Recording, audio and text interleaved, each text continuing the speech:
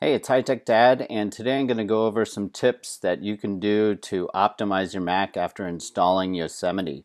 So I produced this uh, blog post back in October, and I had noticed that my Mac was starting to slow down, so I looked through a bunch of different sites and compiled uh, some tips that I think will help.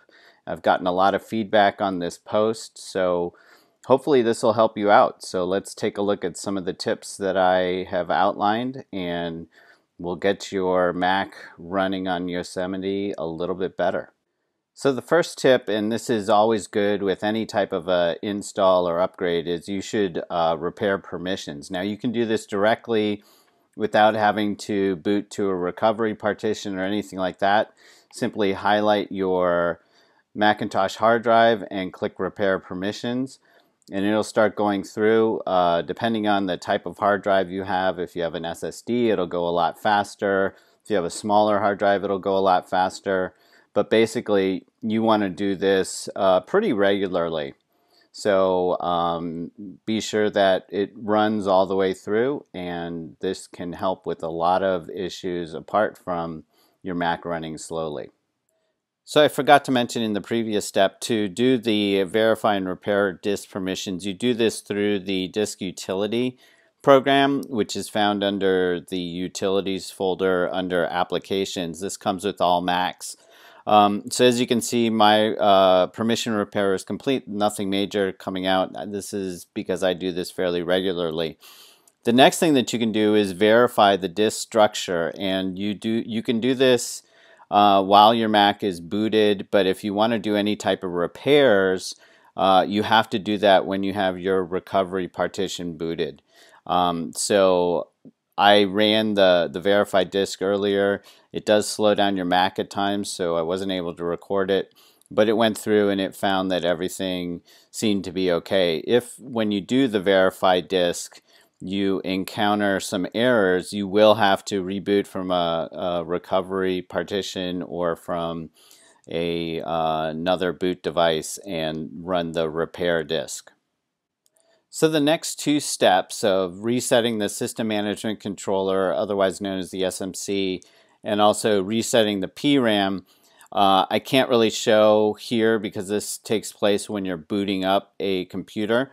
Uh, it does vary on the type of Mac that you have. So there is a knowledge base article on Apple. You can see the link here.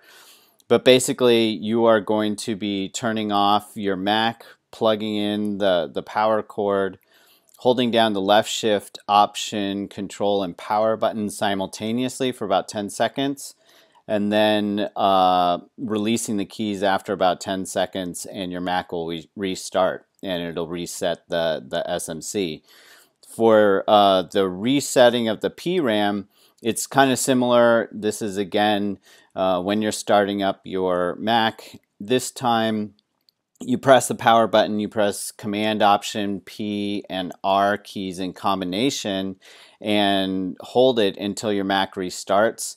And then you will hear the, the startup chime or bong sound twice, uh, meaning that the PRAM has been reset. So this is something that you can do periodically. I have found that, that the resetting of the SMC actually does help with a variety of issues.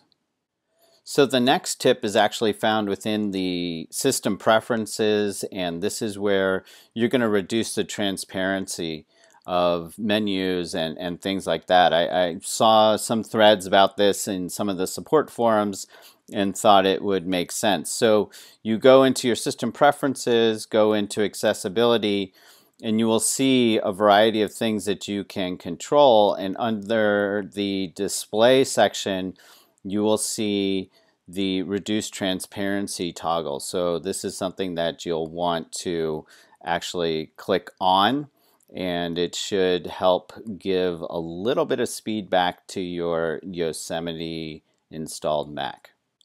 So this next tip was actually a pretty big one uh, that I found. Uh, a lot of complaints about this and a lot of confusion about it. So we're back in the system preferences.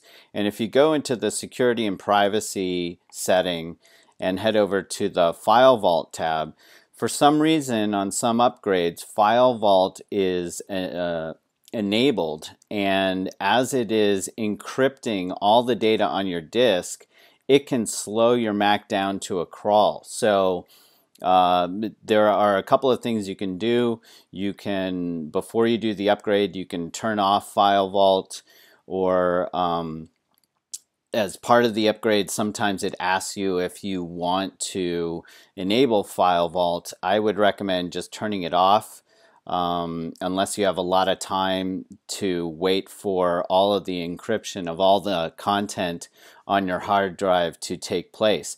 So there are some people who enabled it and it was slowing down their Mac. And there are ways, I didn't list them out in my blog post, there are ways to disable File Vault as it's going through to basically stop the process.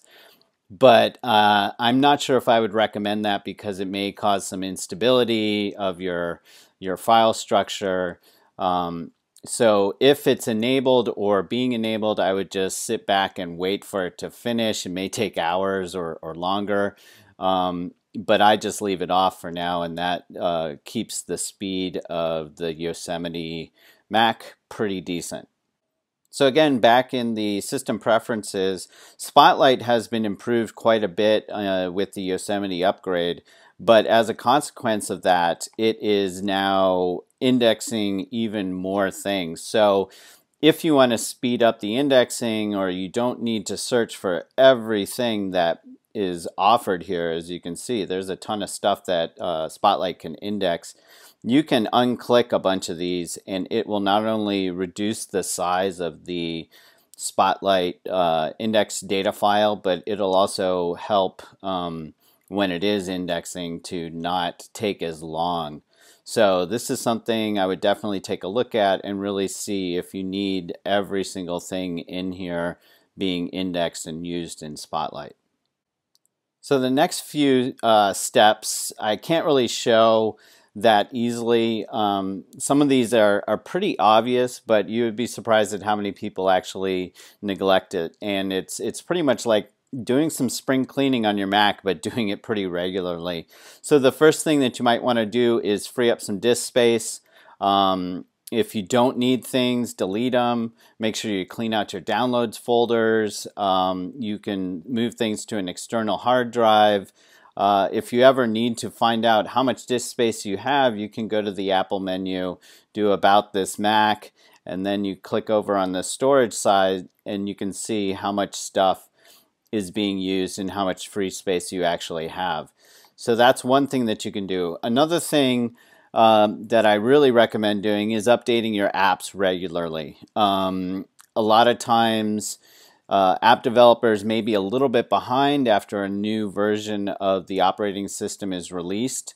So be sure to check regularly on the app updates and App Store there's a good third party app that I recommend called AppFresh, which will actually go through and scan all of your installed hard drives and see if there are any applications that need updating. Um, another thing that you can do if you are sort of a, a DIYer and like hacking your, your computer is install a faster or bigger hard drive. So I've done this before. Um, I replaced a hard drive on a 2010 MacBook Pro, also replaced the battery. There's a video and an article um, on my website as well as a video on YouTube on, on how to do that. Um, if things are really, really, really bad, you can always do a clean install, but be sure that you have a backup of all your applications and data. Um, this may eliminate some some problems and it's a little bit different than doing an upgrade. An upgrade sometimes leaves some issues behind. If you do a clean install you know you're starting from scratch. Uh, adding more RAM always is a great thing to do to any type of computer that you have if you have the capacity to do that. So again, you can go over to the Apple About This Mac and you can uh, take a look at the different types of things that you have in there. you can take a look and see how much RAM you have installed. This one's maxed out right now, but you may have slots available to uh, do some other things. If you want more details, you can click on the system report and there is uh, information about the memory. So it gives you uh, how much you can install and if you can upgrade the memory at all. So that's something you should definitely take a look at. Uh, so then if you are really struggling with Yosemite you can always roll back to Mavericks uh, the previous version of the Apple operating system this is tricky. Um, rollbacks are always hard. It really involves doing uh, lots of backups ahead of time, and hopefully you have backups prior to installing Yosemite. Um, but eventually you will have to upgrade to Yosemite. So I would use this as a last resort unless you're uh, completely dead in the water.